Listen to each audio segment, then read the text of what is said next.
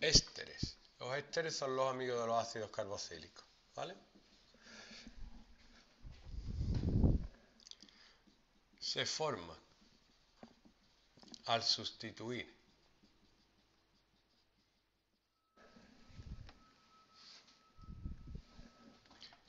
el hidrógeno de un ácido orgánico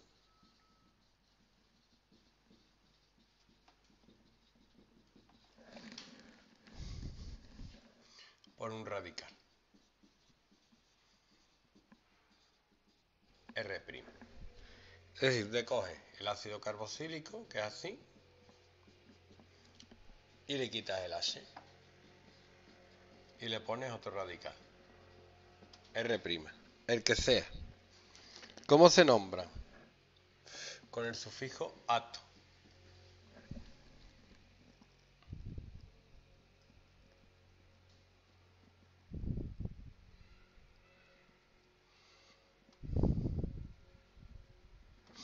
Por ejemplo, etanoato de metilo. El que va con el ato es que son dos. Uno y dos. Eten.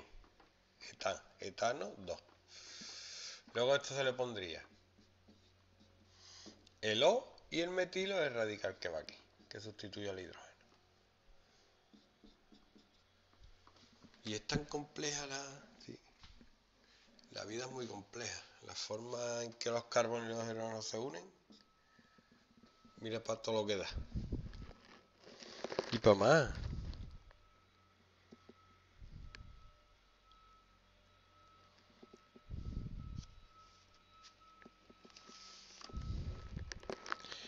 Si no el grupo principal,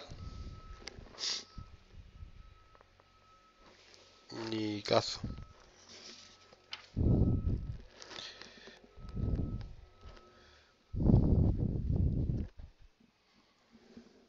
Mira lo que voy a hacer. Benzoato de etilo. El benceno ya sabemos que es una cosa así.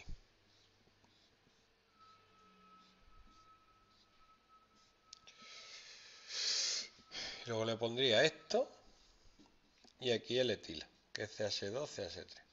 Que antes del, del carbono va el benceno. ¿Vale?